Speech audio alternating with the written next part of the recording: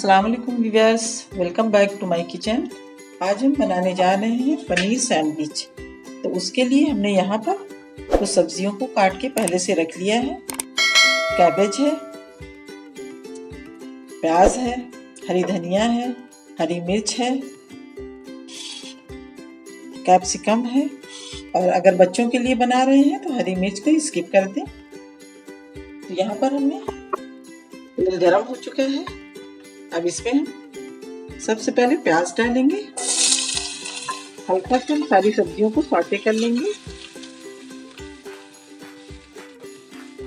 थोड़ा सा इसको चलाएँगे।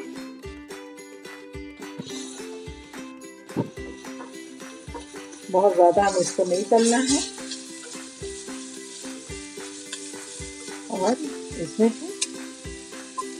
कैबेज डाल देंगे। कैप्सिकम डाल देंगे। हरी मिर्च डालेंगे। और इसको थोड़ा सा सौते करना है। बहुत ही अच्छी सैंडविच बन के तैयार होती है, हेल्दी भी होती है ये। और झटपट बनकर तैयार भी हो जाती है। भूख लगी हो तो फ़ौरन ये सैंडविच बना के लोग खा सकते हैं। बच्चों के टिफ़िन में भी इसको दे सकते हैं।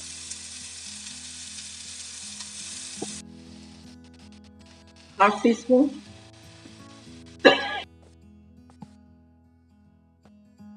half teaspoon red chilli डाल दिया और सॉल्ट जो है टेस्ट के अकॉर्डिंग डा, डालेंगे। अब इसको हम चला लेंगे। इसको मिला करके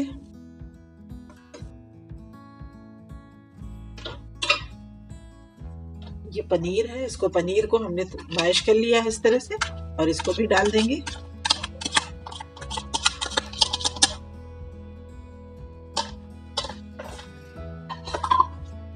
धनिया डाल देंगे, और इसको बस थोड़ा से चलाएँगे, ज़्यादा नहीं।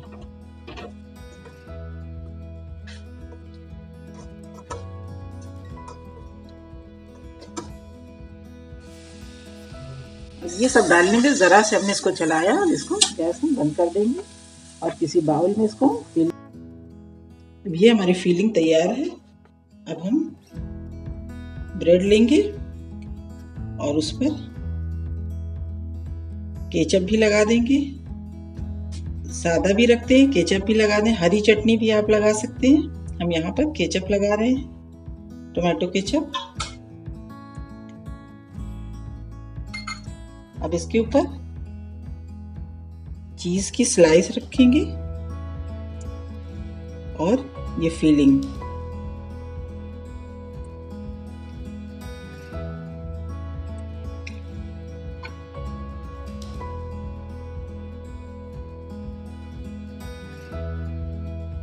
इस पर खूब अच्छी तरह से बटर लगा लेंगे अंदर बाहर दोनों।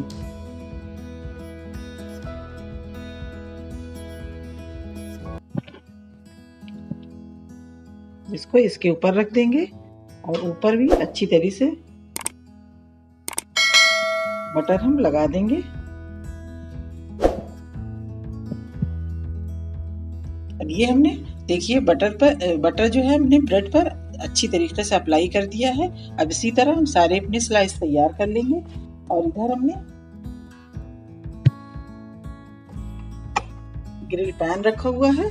इसमें हमने हल्का सा बटर लगा दिया है। अब उस पर इसको हम रखेंगे। पैन हमारा जब हम ग्रिल करें तो ग्रिल पैन हमारा ज़्यादा तेज होना चाहिए, हल्का नहीं होना चाहिए।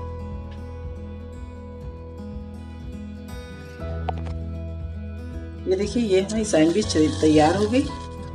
इसको निकाल ले रहे हैं।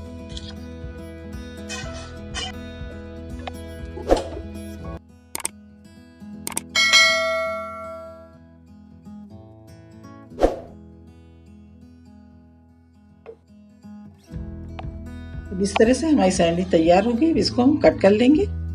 इस तरह से।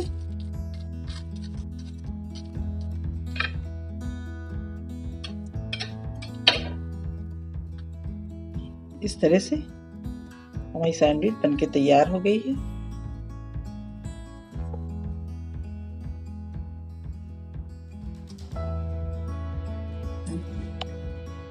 ये देखिए हमारी पनीर सैंडविच बनकर तैयार हो गई। आप लोग भी अपने घर में इसको ट्राई करिए। बहुत जल्दी बन जाती है ये और बहुत ही टेस्टी बहुत ही हेल्थी होती है। हमारे चैनल को लाइक और शेयर करिएगा सब्सक्राइब करिएगा। नेक्स्ट वीडियो में किसी अच्छी रेसिपी के साथ आप लोगों से फिर मिलते हैं। आप इजाज़त दीजिए। अल्लाह हाफिज।